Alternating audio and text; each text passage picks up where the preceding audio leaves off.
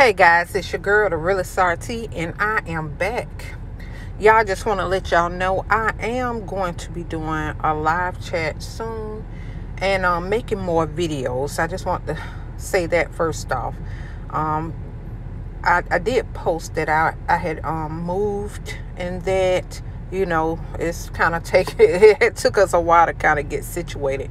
So I just want to make it seem like I had an abrupt end or something. But you know, you got to take care of home first. Sweep around your own front door before you try to go sweep around somebody else's. Okay, you got to take care of home, boo. But anyway, um, I got a message for y'all today, and it's just gonna be right quick. And of course, y'all know it is about the dogs. Let me tell y'all something about these dogs. oh my goodness.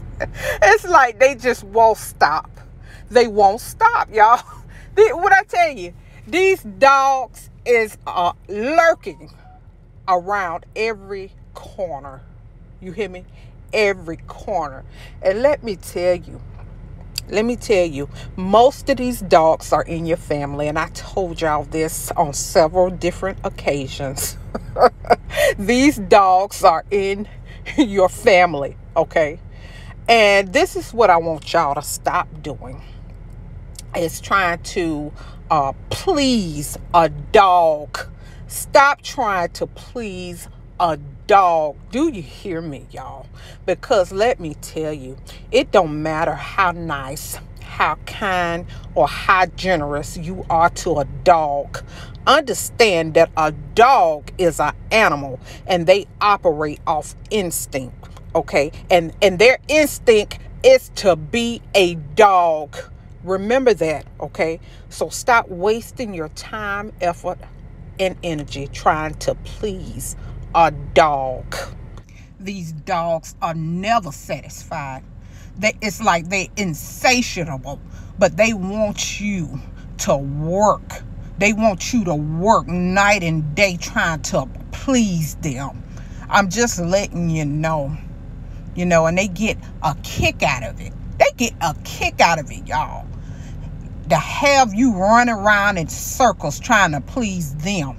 But let me tell you, you had better get delivered from being a respecter of persons and trying to be a people pleaser. Because, like I said, these dogs will have you running around in circles, chasing your tail like a dog, trying to please them. When you should be trying to do what's pleasing to the Lord. Okay. That should be your goal. That should be your mission, not trying to please a dog.